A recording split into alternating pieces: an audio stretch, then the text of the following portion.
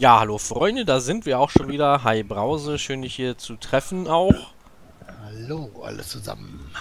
Äh, gehen wir einfach mal wieder runter und machen Bäume. Hab gerade schon geguckt, wir sind die einzigen in äh, Molvik, die einzigen Midgarder zumindest. Hatten ja letztes Mal richtig schön Spaß mit den beiden Alps, aber wir brauchen ja schon irgendwie ein bisschen mehr Level noch, dass sich das so richtig lohnt. Ja, hol mal einfach ran, so in deinem Tempo, Brause. Und ich sehe dann zu, dass ich die totgeschlagen kriege. Hey. Bin ich da zu weit weg, oder? Ja. Jetzt haben wir ne.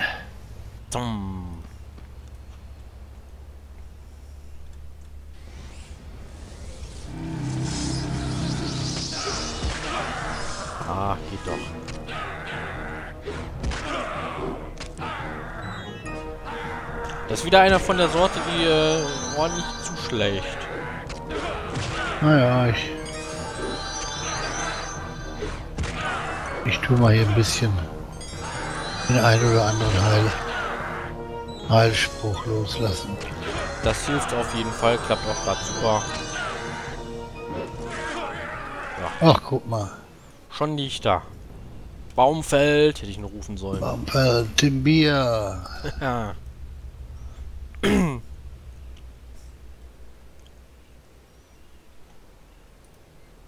Ganz kurz rasten.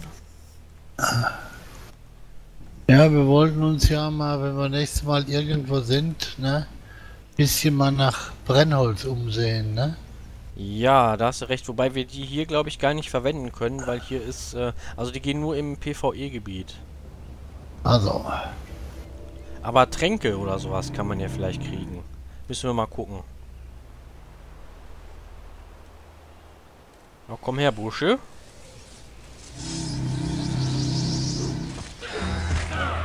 Bäumchen, äh, ich wechsle dich. Von Baumstamm nach Zahnstocher. Naja, mach mal da. Welthölzer raus.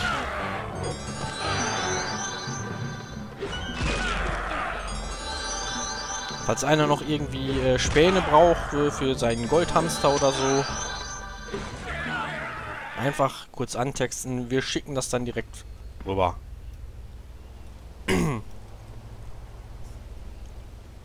Ja, vielleicht könnten wir daraus Feuerholz machen.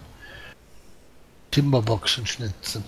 Ja, aber vielleicht braucht man dafür noch zusätzliche Materialien, zum Beispiel äh, Schwarzpulver oder so. Oder äh, zumindest hier so, so, ein, so ein Eisen. So ein Eisen, was Funken schlägt. Ja, ja, ja.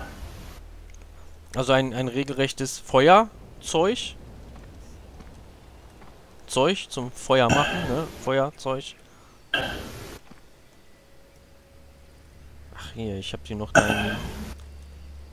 Mein Chant ist doch viel besser.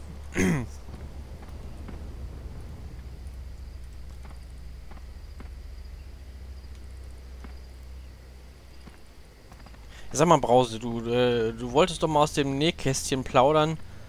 Du gehörtest ja auch mal zu den, zu den Lochbuddlern. Ich war Totengräber?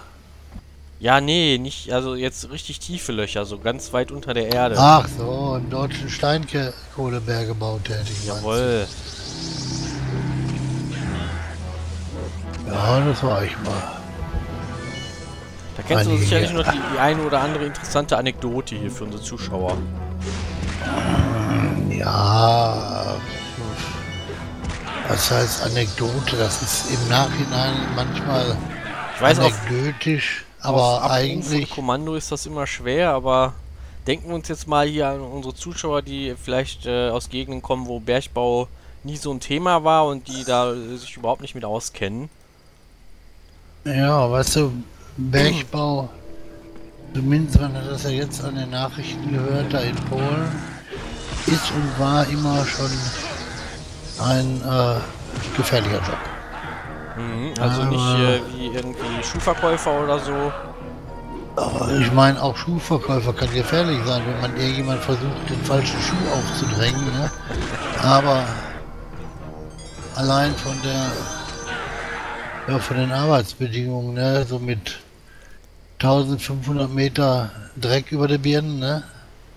Das der auch nicht äh, immer unbedingt da oben bleibt.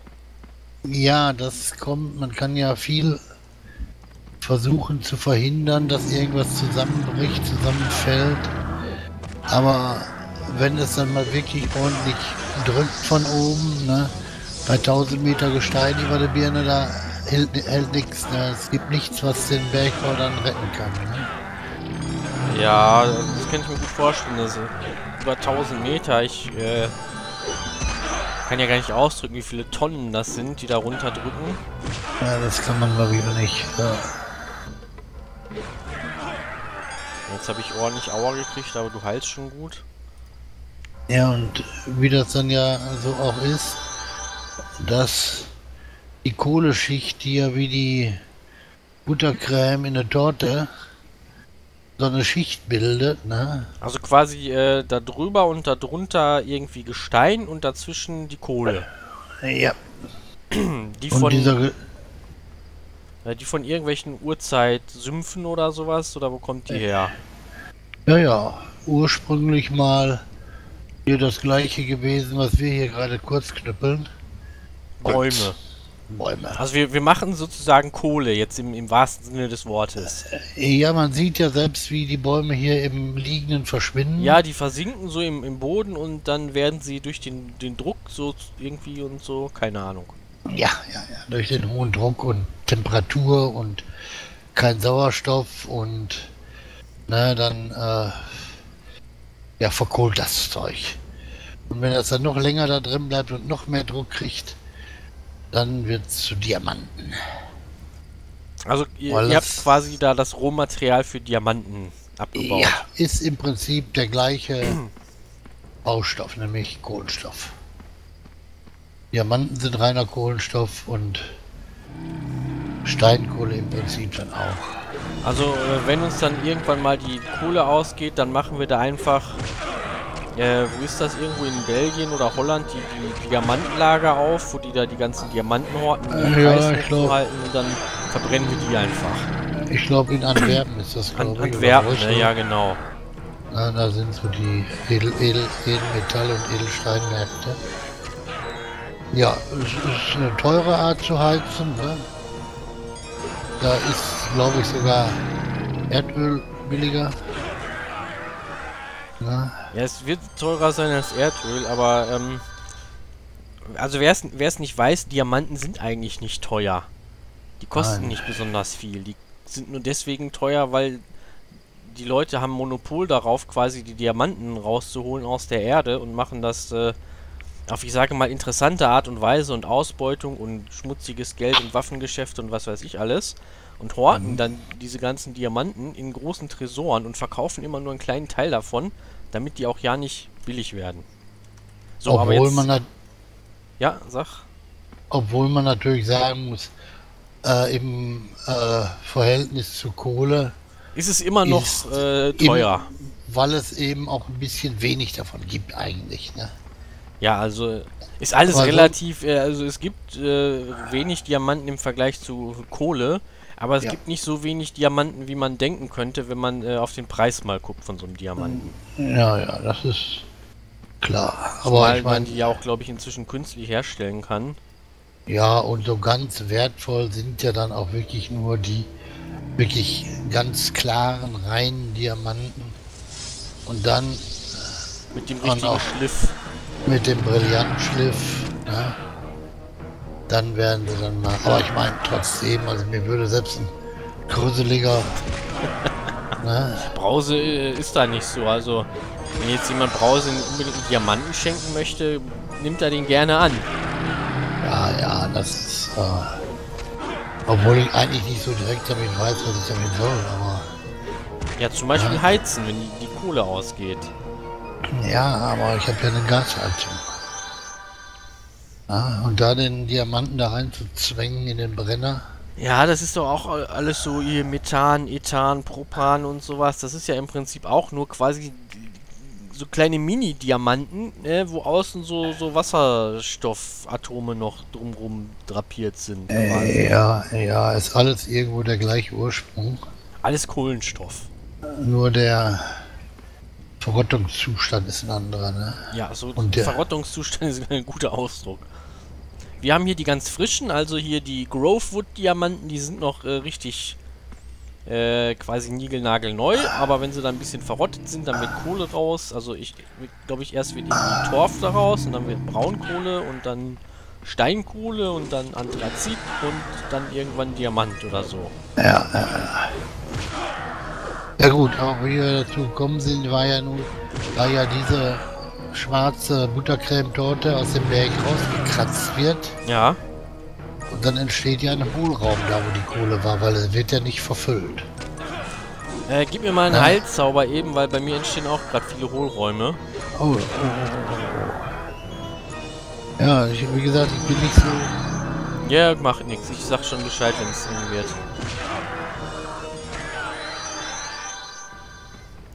Und dann entstehen jetzt in, in dieser Buttercreme-Torte, äh, kratzt sie die, die Buttercreme raus. Und dann bleibt Ja, nur noch oben und unten der Tortenboden über. Da ist der, ist der Tortenboden über. Und der drückt dann nachher sich mit der Zeit dann wieder zusammen. Das, das kann man sich ja so vorstellen, das ist ja nicht einfach nur ein Gang quasi, sondern diese Buttercreme, das ist ja so ein richtiges Buttercreme-Feld, was also in Länge und Breite geht.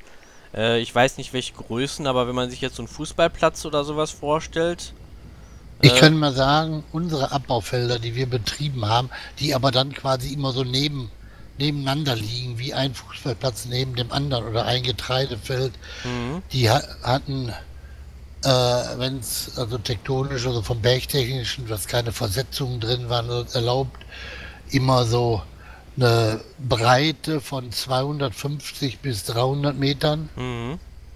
Und dann ging die der Länge nach so zwei bis drei Kilometer.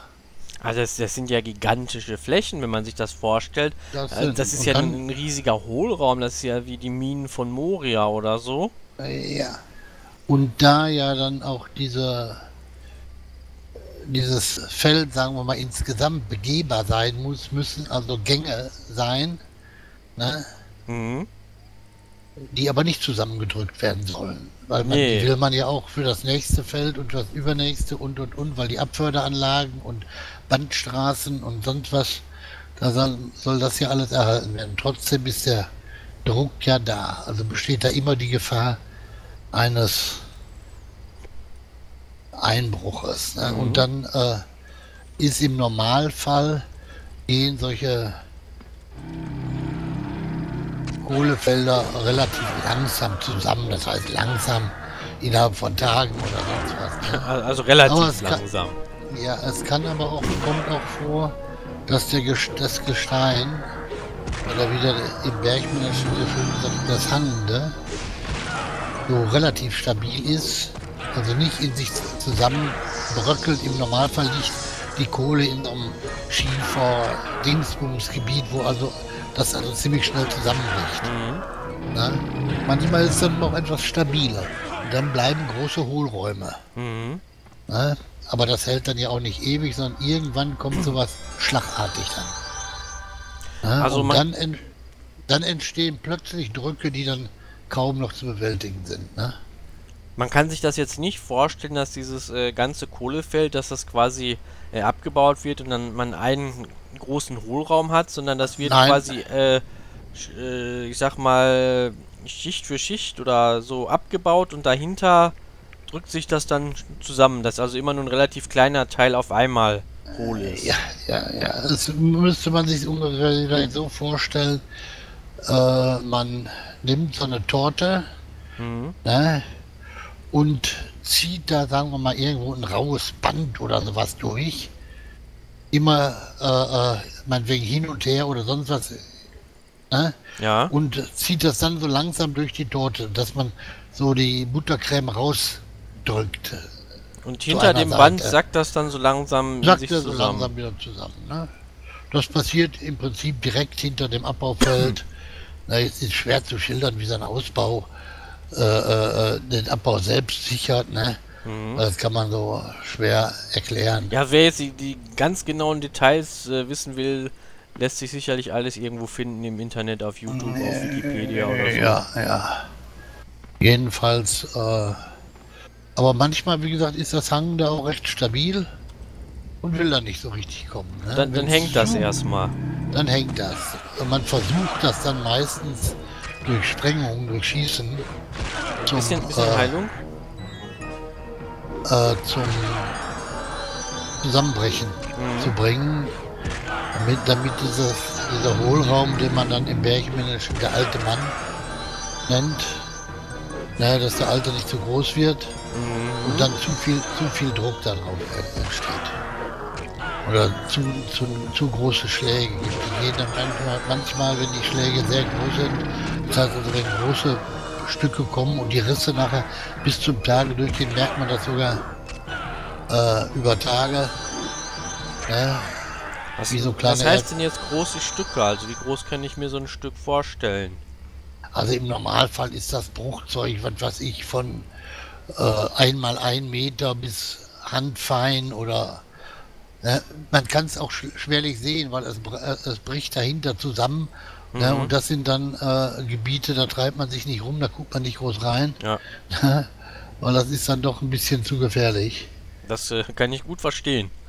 Aber wie gesagt, es können dann auch ein paar Stücke kommen, die äh, was weiß ich, wie so ein Möbelwagen so groß oder wie ein LKW oder vielleicht noch etwas größer im Hinterfeld, das sieht man aber dann nicht mehr, kann man, ne? Aber wenn man sich so vorstellt, so ein, äh, so ein Steinklotz, der, was weiß ich, 20 Meter lang, 5 Meter breit und 8 Meter hoch ist, ne? Ja, wenn der runterkommt. Dass das so einige tausend Tonnen, die dann dahinter drücken, ne? Aha.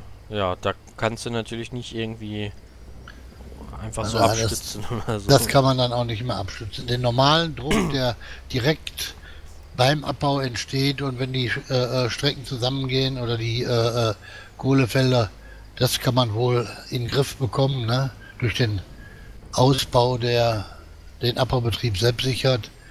Aber äh, zu viel heißt dann besser weggehen.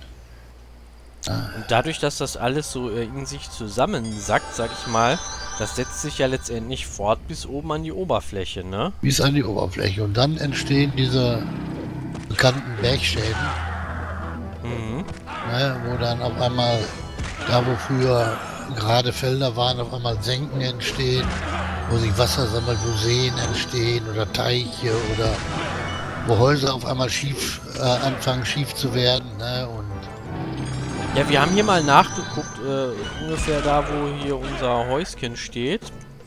Vor ein äh, bisschen über 100 Jahren, da war die ganze äh, Gegend hier ungefähr 12 Meter höher. Ja. Das ist quasi alles so in, durch den Abbau in den letzten 100 Jahren um die 12 Meter nach unten gesackt. Es ist natürlich nicht so, dass da irgendwo so eine 12 Meter Kuhle ist, sondern es ist natürlich, äh, weil das, das gesamte Gebiet an, an sich ist jetzt niedriger. Man sieht aber auch ganz schön, so manche Bruchkanten kann man ganz gut sehen, wenn man bei uns auf der Landwehrstraße Richtung von Willinghofen aus Richtung Hamm fährt. Im ja, Bereich. Da werden jetzt die meisten unserer Zuschauer wahrscheinlich eher selten vorbeikommen, aber. Ja, jedenfalls sieht man da, dass auf einmal eine Straße, die früher immer ganz gerade aufgeht, auf einmal über eine gewisse Entfernung bergauf geht. Und man sieht quasi, wenn man über die Felder, Wälder guckt, richtig so eine Kante. Also nicht keine scharfe Kante, sondern so einen kleinen Knick im Be äh, äh, ne? Aber da muss man schon ein bisschen wissen, wonach man gucken muss, ne? Naja, das, das kann man eigentlich ganz deutlich sehen. Quer durch Bergkam, aber da gehen etliche Bruchstellen durch. Wir, Im Bergbau wurde ja eigentlich immer so versucht, möglichst großflächig abzubauen und ohne äh, äh, zu verfüllen. Weil verfüllen heißt immer, irgendwo bleibt was und irgendwo fehlt was und dann wird es nachher, wenn es bis zur Oberfläche durchkommt, dann doch ziemlich äh, Schäden einrichten. Ne? Ah. Also Und wenn man das ohne zu verfüllen gleichmäßig ist, dann es quasi ein Absenken. Ne? Das ganze Niveau senkt sich natürlich bis auf die Ränder des Abbaufeldes. Ne? Das bleibt natürlich auf der. Man kann das nicht einfach irgendwie, sag ich mal, äh, Beton reinpumpen oder sowas und dann bleibt das wie es ist? ich glaube, die Mengen, die da wäre zu teuer. Rausgefördert teuer. werden, ne, das wäre dann der Beton teurer als die Kohle, die man rausholt, Okay, dann äh, rechnet sich das dann auch nicht mehr so richtig. so machen wir an dieser Stelle eben einen Cut. In der nächsten Folge geht's weiter. Und Cut.